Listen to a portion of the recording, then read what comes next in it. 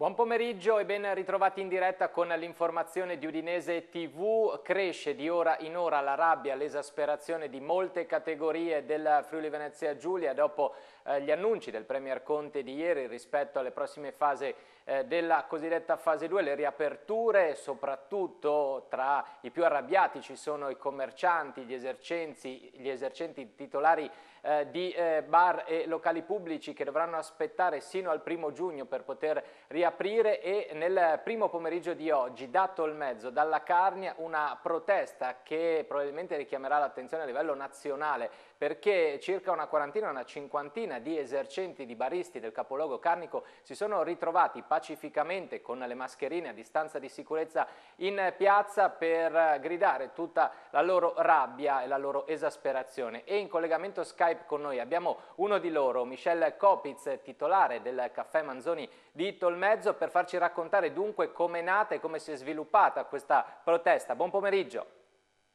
Buongiorno, buongiorno, grazie intanto Udinese TV per, per avermi concesso questi minuti con voi. Vi siete ritrovati eh, tramite un appello lanciato sui social, nelle chat di Whatsapp, l'appuntamento alle 14.30 in piazza 20 settembre e dunque eh, in molti hanno risposto a questa chiamata. Ma sì, come ha detto lei, è stato un tantam, diciamo, proprio su, su Whatsapp e sui canali social da questa mattina, dopo appunto, come ha detto lei, eh, il discorso del Premier Conte di ieri sera, già ieri si, si annusava il malcontento e da qui è partita questa, questa, chiamiamola manifestazione, che poi non doveva neanche essere una manifestazione, è stata un incontro solidale fra tutte le parti, c'eravamo noi, c'era gente che lavora anche in piccole industrie, c'erano dei medici, dei chirurghi, dei, eh, dei dentisti, artigiani, c'era un po' di tutto. E, e questo per ovviamente far sì che per dare un segnale e se la carne che non era abituata a queste cose qua si sta muovendo vuol dire che c'è sotto qualcosa veramente di grosso.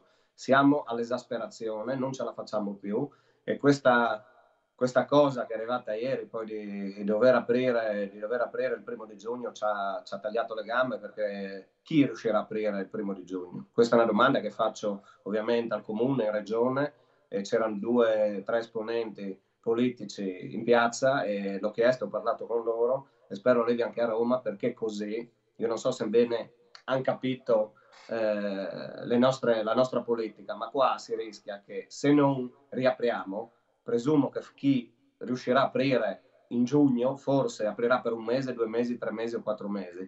A settembre qua si rischia che gran parte dell'indotto che creano bar, ristorazioni, eh, vendita al dettaglio, eh, eccetera, eccetera, siano annientati. E io ho fatto appunto questa, questa domanda qua e ho detto a loro, ma signori, sapete che qua fra sei mesi, se continua così, non avrete neanche gli stipendi per voi, per i politici, per la sanità, non avrete gli stipendi per i parenti miei, come mio papà, mia mamma, mia mamma che ha lavorato 40 anni e si ritroveranno senza pensione, perché qua, eh, io non so se hanno ben capito, ma siamo a questi livelli qua. Cioè la situazione non è drammatica, ma molto peggio. Eh sì, avete ricevuto poi anche la visita del sindaco Brollo che è venuto in piazza ad ascoltare le vostre rimostranze, si è impegnato, immagino, a portare all'attenzione poi del governatore Federica eh, questa voce di rabbia, di malcontento, di esasperazione, come l'hai anche definita tu. Sì, ringrazio, ringrazio il sindaco Brollo e anche c'era l'assessore Boschetti e anche il sindaco di Paolaro. Eh, io al sindaco e all'assessore regionale ho, ho, li ringrazio perché sono venuti, perché alla fine eh, bisogna che qua ci chiudiamo un po' a riccio e abbiamo bisogno di tutti perché siamo, ho detto siamo tutti nella stessa barca ho detto di riportare che la situazione è drammatica. Loro mi hanno detto, il sindaco, che loro possono intervenire su piccole cose, che sia la Tares, il suolo pubblico, ovviamente, ma qua ci vuole qualcosa di più massiccio. Va bene tutto, tutto aiuta, ma qua ci vuole qualcosa, abbiamo bisogno di linfa, abbiamo bisogno di linfa perché non ce la facciamo più. Non ce la facciamo, non è arrivato un euro di, o a pochi eh, sono arrivati queste, la cassa integrazione dipendenti, i 600 euro sì, io sono uno dei fortunati che mi sono arrivati, io tra l'altro li ho lasciati sul conto corrente aziendale, il giorno dopo mi è arrivata la bolletta della luce con tutto spento, 580 euro di, di luce, cioè siamo veramente a, a, alle comiche, alla fo follia pura. Eh, l'assessore, al, um, l'assessore, Boschetti mi ha detto che parlerà, si, si incontrava con Federica e chiederà, anche perché mi diceva che Federica è molto propensa all'apertura anticipata, non si può aspettare, non si può aspettare e l'assessore Boschetti mi ha detto sono qua presente appunto per dimostrare che ci siamo e vogliamo, vogliamo darvi una mano e abbiamo bisogno subito di una mano, non possiamo aspettare perché qua sta finendo la benzina a tutti, siamo già in riserva. Qualcuno l'ha già finita e quindi non riaprirà e quei pochi sono già in riserva. Io non so se si rendono conto che qua ci ammazzano, ci stanno ammazzando tutti quanti. Quindi io spero che questo vada in comune, vada in regione, in regione vada a Roma, perché altrimenti veramente ci andiamo noi, ci andiamo noi a Roma. Ma stavolta andiamo giù cattivi, eh? perché il sentore è questo. Io parlo, ho lavorato eh, dieci anni fuori regione, parlo con i miei colleghi di fuori regione e il sentore è tutto uguale. Si va a Roma.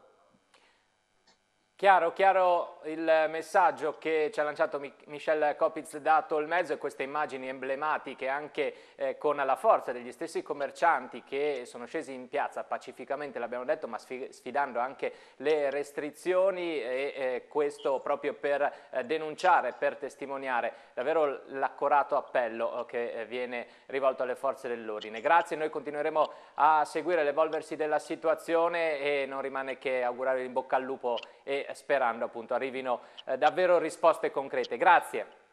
Grazie, grazie a voi, grazie a voi. Dalla protesta dei commercianti, dei baristi di Tolmezzo a quella dei parrucchieri, degli estetisti, anche loro sul piede di guerra, inaccettabile lockdown delle attività fino a giugno, l'appello di Confartigianato a Fedriga per riaprire il prima possibile. Il capogruppo della categoria Ponta lancia una petizione online alla, a seguito di questa richiesta, massima fiducia nell'azione del Presidente della Regione al Governo, chiediamo 5 anni di sgravi fiscali, ascoltiamo. Buongiorno a tutti cari colleghi eh, parrucchieri, barbieri, estetiste, onicotecniche e tatuatori.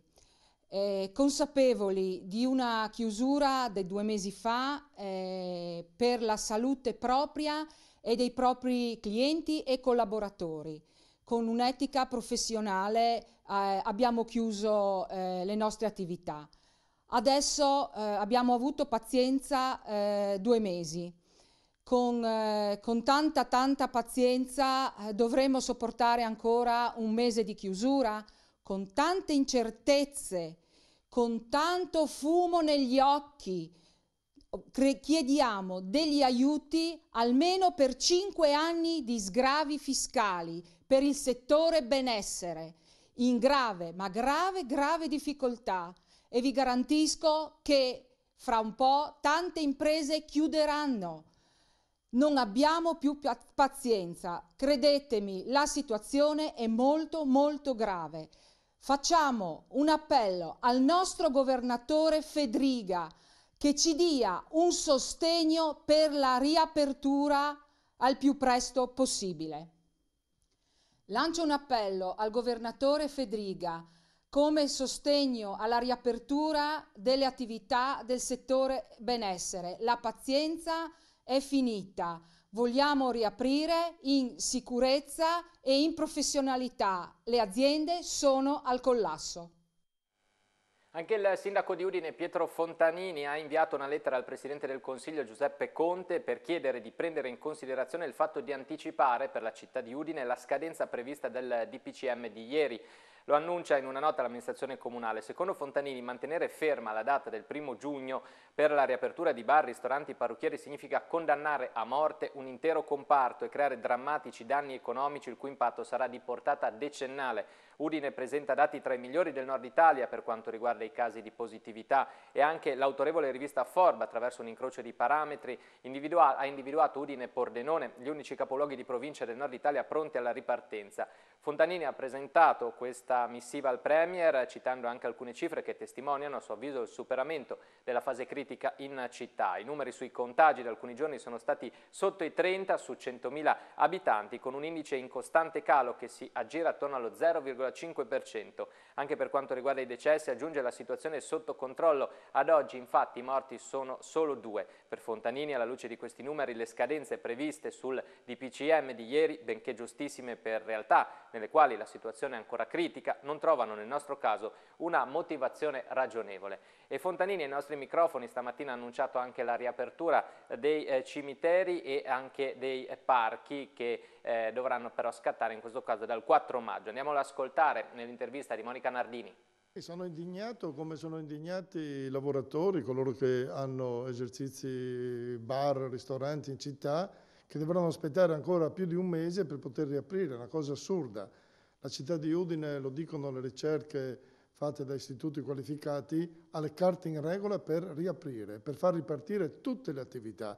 Non capisco questo ulteriore mese di attesa che non è giustificato né da casi di epidemia di coronavirus, né da altre situazioni. Sto scrivendo proprio una lettera al Presidente Conte per manifestare la mia indignazione e per chiedergli di rivedere un po' questa, questo decreto che ha emanato ieri sera per dare la possibilità a quelle città che sono con eh, situazioni ottimali come Udine di poter riaprire prima rispetto al primo giugno come è stato indicato per tante attività. Tra l'altro noi come Comune siamo già pronti a concedere ulteriori spazi pubblici ai bar in particolare perché possano eh, mantenere le distanze che saranno previste per tutelarsi dal contagio del coronavirus.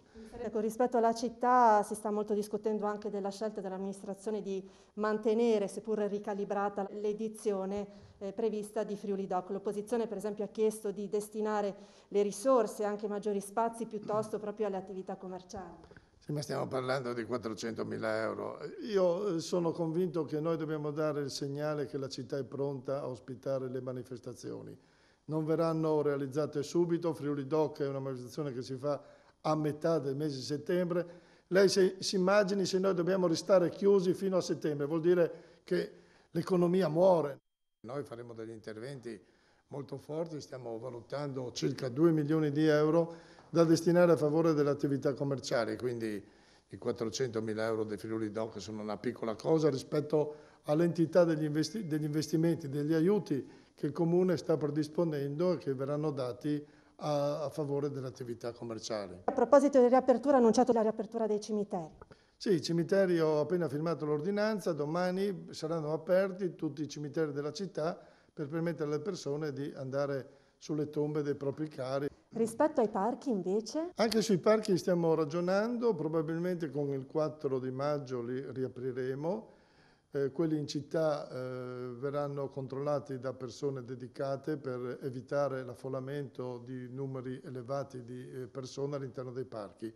Ma per quanto riguarda il Cormor e il Parco del Torre, che sono di amplissime dimensioni, non ci sarà questo problema, quindi anche i parchi verranno riaperti perché i cittadini hanno il diritto di fare qualche bella camminata e anche qualche bella corsa nei parchi cittadini.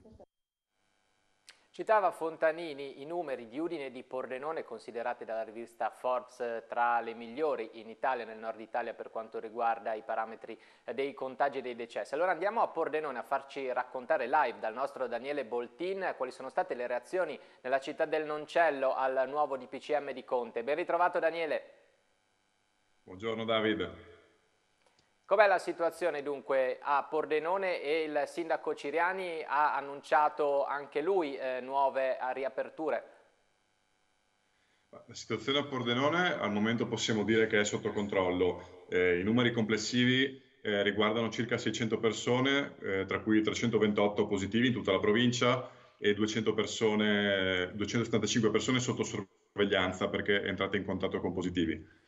La notizia migliore al momento è eh, diciamo, lo svuotamento della terapia intensiva all'ospedale. Sui 15 posti eh, di terapia intensiva proprio per i malati Covid, attualmente eh, ne sono occupati 4 e si è arrivati a un picco di, di 13 il 7 aprile, quindi la situazione è in discesa. Sempre all'ospedale è ancora, isolata, eh, ancora isolato il reparto di seconda medica, eh, ormai da 10 giorni, eh, dopo un contagio arrivato dalla casa di riposo di Castello di Zoppola, dove ieri si è registrata la diciassettesima vittima, Mario Durigon di 91 anni, ehm, che possiamo dire che è l'unico focolaio della provincia purtroppo, questa casa di riposo. Per quanto riguarda il nuovo decreto, anche a Pordenone eh, l'amministrazione comunale eh, sta valutando le riaperture dal 4 maggio. Eh, si valuta la riapertura dei parchi, in particolare del Parco San Valentino, che comunque verrebbe riaperto a metà perché eh, c'è un cantiere in corso.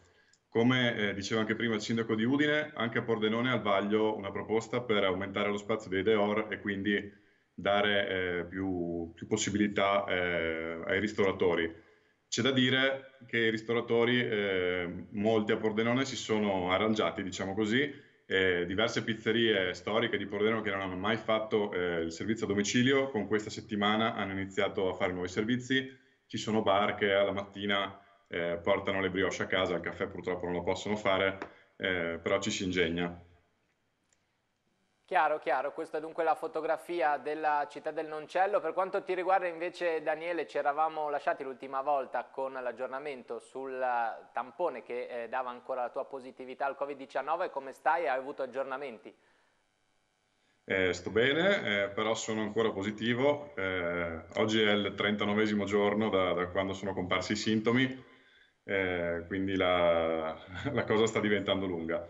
La mia compagna che è infermiera qui al Santa Maria degli Angeli è negativa, oggi è rientrata al lavoro e adesso eh, è iniziato l'isolamento domestico tra di noi con, eh, cercando di non, di non, vederci in casa per, per, quanto possibile non stiamo vicini. Il primo maggio dovrei avere un altro tampone, eh, vedremo. Incrociamo le dita dunque, auguri anche a te per poter uscire finalmente da questa situazione e grazie per gli aggiornamenti che ci hai raccontato da Pordenone. Alla prossima. Grazie a te, buona giornata. Rientriamo in eh, studio per continuare con il notiziario e con gli aggiornamenti che arrivano dalla situazione in Friuli Venezia Giulia, alcuni ce li ha raccontati poco fa proprio Daniele Boltin da Pordenone, il quadro regionale dalla mappa della protezione civile eh, ci presenta questi numeri aggiornati, scorrendo andiamo a recuperarli assieme per quanto riguarda i casi di contagio, andiamo a dare i numeri aggiornati, eh, i eh, positivi attualmente sono 1317, i deceduti sono saliti a 267, i guariti a 1238, il totale delle quarantene 1090. Tra gli ultimi due decessi registrati eh, ritorna ancora il focolaio di Paluzza della casa di riposo dove salgono a 15 i eh, decessi, sabato sera è venuta a mancare una donna di 92 anni proveniente da Tolmezzo, accolta in casa di riposo dagli inizi del 2017. Dopo i primi due tamponi negativi, al terzo del 17 aprile era risultata positiva. Le sue condizioni, prima del contagio, presentavano un quadro già compromesso.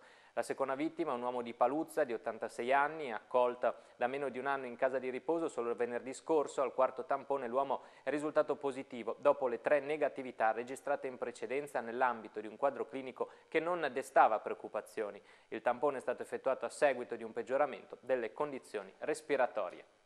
Continuiamo con le notizie, la situazione del CPR di Gradisca di Sonzo con la richiesta della deputata Deborah Serracchiani alla Viminale affinché accolga l'appello del sindaco di Gradisca e dei sindacati di polizia in strutture come il CPR e il CARA di Gradisca devono essere poste in atto tutte le misure per ridurre il rischio dei contagi. Da parte della Regione dovrebbe essere promossa una campagna di tamponi che copra tutti coloro che lavorano o gravitano all'interno della struttura, ha chiesto Serracchiani. Ho nuovamente sensibilizzato il Viminale, aggiunto, sulla situazione di Gradisca che continua a vivere una condizione irrisolta per la convivenza di Cara e CPR affinché almeno non si sgravino le strutture di altri arrivi, ma occorre al contempo che la Regione non trascuri di fare tutto il necessario per monitorare e tenere in sicurezza questi gruppi di persone. Il eh, fronte controlli ora con le forze dell'ordine che continuano a monitorare la situazione, 1914 le persone controllate nella giornata di ieri in Friuli Venezia Giulia, di queste 153 sono state sanzionate per inosservanza e quanto emerge dai dati diffusi dalla Prefettura di Trieste. Durante le verifiche 19 persone sono state denunciate per altri reati. Nella giornata di ieri le forze dell'ordine hanno inoltre controllato 387 esercizi commerciali. Ancora cronaca con due persone arrestate per detenzione ai fini di spaccio di sostanze stupefacenti nel corso di un controllo stradale avvenuto a Caorle. Nella vettura su cui viaggiavano c'era circa 30 grammi di eroina. Nella successiva perquisizione domiciliare rinvenuti anche altri 2 grammi di eroina, due dosi di marijuana, tre spinelli già confezionati, una boccetta di metadone e una cospicua somma di denaro contante che, ritenuta a provento di illecite attività, è stata sequestrata assieme al materiale per il confezionamento. I due, rispettivamente di 34 e 41 anni, residenti in zona, sono stati posti ai domiciliari su disposizione della Procura di Pordenone. A Monfalcone ora dove si è firmato stamattina un protocollo senza precedenti tra il Comune, la Fincantieri, l'Ufficio Scolastico Regionale e l'ISIS Pertini, un accordo che abbina la vocazione del territorio con le esigenze formative e il fabbisogno di professionalità per il settore della navalmeccanica. Ascoltiamo. Comincia adesso un percorso triennale. Abbiamo due classi terze nel percorso di assistenza e manutenzione. Saranno selezionati in queste due classi i ragazzi più meritevoli, anche con l'aiuto della selezione personale di Fincantieri, affinché comincino un percorso di tre anni che veda alla fine un inserimento nel mondo lavorativo. Un testo importante che rappresenta da questo momento in poi un punto di partenza per un qualcosa che andremo a costruire e che rappresenterà sicuramente un punto essenziale per lo stabilimento di Monfalcone, ma in generale per quella uh, simbiosi che deve esistere tra territorio, uh, azienda, all'interno della quale il mondo della scuola è sicuramente una parte essenziale per quanto ci concerne. E questa convenzione mette insieme un ragionamento che vuole il territorio, il futuro dei nostri giovani vicino a una grande azienda che è Fincantieri e che in una simbiosi di intenti consentirà appunto ai ragazzi, ai giovani meritevoli, a coloro che hanno voglia di impegnarsi, eh, di eh, frequentare all'interno della scuola Pertini eh, come dire, un percorso per avvicinarsi in maniera importante all'azienda e poi alla fine del percorso per questi giovani ci sarà il riconoscimento della possibilità di lavorare all'interno dell'azienda. A proposito di nautica, a mezzanotte è entrata in vigore l'ordinanza di Fedriga che consente anche interventi di manutenzione alle barche da diporto e già questa mattina numerosi diportisti hanno raggiunto le rispettive imbarcazioni. A decine anche a Trieste si sono ritrovati nei circoli nautici della città e negli ormeggi per effettuare gli interventi annuali necessari prima di mettere le imbarcazioni in acqua. Tutti con le mascherine hanno avviato i motori, pulito le sentine e compiuto gli interventi di rimessaggio pronti per affrontare la tradizionale gita in barca. Il provvedimento consente anche che le barche barche possano essere provate in acqua in un ragionevole raggio di distanza dal porto. Apriamo ora la pagina sportiva e parliamo dei dilettanti con eh, il presidente regionale della delegazione della, FIG, della FIGC Hermes Canciani. Buon pomeriggio Presidente, grazie per essere in nostra compagnia. Buon pomeriggio a te e a tutti i tuoi telespettatori. Vogliamo provare a capire alla luce delle dichiarazioni di Conte che ieri ha parlato anche del mondo dello sport, del calcio in particolare per la ripresa da un lato degli, degli allenamenti individuali, dall'altro per gli allenamenti in gruppo dal 18 maggio. Ecco, alla luce di tutto ciò, Presidente, il mondo dei dilettanti come è pronto ad affrontare le prossime settimane? Che cosa si deciderà? Bah, a proposito di, di, quello che era il DPCM di ieri, anche oggi il Ministro Spatafora ha avuto alcune parole contraddittorie rispetto a quello che erano state le aperture del Presidente Conte, in quanto il protocollo della federazione, a detta del Ministro, non è ancora completo e soprattutto non garantisce completamente quelli che sono gli attori ehm, che dovranno partecipare appunto a queste partite. Quindi attendiamo ulteriori integrazioni e ulteriori sviluppi sull'argomento e come potete immaginare, considerato che la situazione è particolarmente complessa per i professionisti, per i dilettanti lo è altrettanto, forse non forse, sicuramente molto molto di più. Quello che stiamo vivendo è una situazione molto complessa per certi versi paradossale, dove obiettivamente il mondo del calcio subisce le conseguenze non solo della, di quella che è la crisi epidemiologica, ma anche di quella che è una questione di tipo economico, perché purtroppo, purtroppo le situazioni che noi ogni giorno viviamo ci dicono che le risorse per il mondo dello sport, per il mondo dei dilettanti sono sempre, sono sempre di meno, sono sempre più basse. Insomma, ecco. Quindi bisognerà attendere alcuni, ancora alcuni giorni per capire poi se ci sarà uh, una uh, continuazione della stagione sospesa a marzo oppure se ci saranno altre decisioni in merito rispetto ai campionati ci, regionali. Ma è, è, è, logico che per poter pensare di praticare il mondo dello sport, il mondo del calcio, che è uno sport collettivo, eh, ci devono essere alcune precauzioni, soprattutto le grandi tutele nei confronti di tutti i soggetti che partecipano a questo. Noi eh, attraverso il CONI abbiamo, eh, ci è stato comunicato che allo studio un, è stato commissionato uno studio al Politecnico per appunto un protocollo di sicurezza e noi attendiamo questo protocollo per poterlo poi analizzare e capire se è attuabile. È logico che per quanto riguarda ad esempio i settori giovanili, eh, i ragazzi non vanno a scuola ed è abbastanza improbabile che possano svolgere attività sportiva e quindi io ritengo che in questo momento l'unica cosa da fare sia rispettare quelle che sono le regole, non fare imprudenza per poi pensare a una ripartenza, speriamo eh, al mese di settembre, in tranquillità e soprattutto con eh, tutti gli elementi che possono praticamente andare a portare uno stato di tranquillità nel nostro mondo. Ecco, Presidente, citava proprio le difficoltà delle tante eh, società del nostro panorama. Nei giorni scorsi è uscita eh, la proposta di legge della Giunta attraverso l'assessore Gibelli per dare un supporto a queste società. Ecco, eh, sono state accolte anche le vostre proposte, basterà questo per dare un sostegno al mondo del dilettantismo regionale o serve ancora qualcosa in più secondo lei?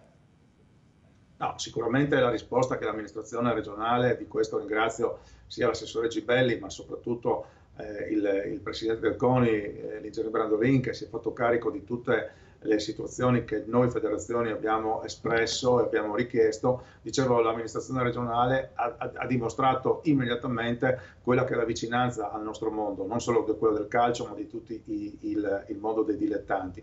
E quindi i provvedimenti che ha immediatamente messo in campo sono provvedimenti certamente importanti, certamente che vanno nella direzione giusta per dare quel minimo di fiducia, quel minimo di contributo eh, di, di, di, speranza a tutte le nostre società. Ricordo ad esempio un provvedimento urgente è stato quello di permettere la manutenzione de, dei campi e soprattutto per quanto riguarda gli amici della Carnia che si apprestavano a, a, iniziare il campionato carnico che poi purtroppo siamo stati costretti a sospendere era veramente un problema, ma in tutta la regione e così poi tutti gli altri provvedimenti che pian piano sono stati enunciati e che andranno sicuramente a favore del nostro mondo. Non è, non è, non è sufficiente, però è un buon inizio. Grazie, grazie, Ti, ci terremo aggiornati anche sull'evolversi della situazione. Grazie al Presidente, buon lavoro. Grazie a voi e buona serata. Noi eh, ci salutiamo, l'informazione su Dinese TV ritornerà alle 19 con eh, tutti gli aggiornamenti di cronaca e di sport, ma vi ricordiamo che stasera in prima serata alle ore 21 tornerà Udinese Tonight per affrontare anche il tema legato al mondo del calcio professionistico, dell'Udinese in particolare, con anche in questo caso eh, tutto eh, l'evolversi della situazione alla luce proprio delle parole del decreto di ieri del Premier Conte. Ci salutiamo, grazie per averci seguito e buona permanenza su Dinese TV.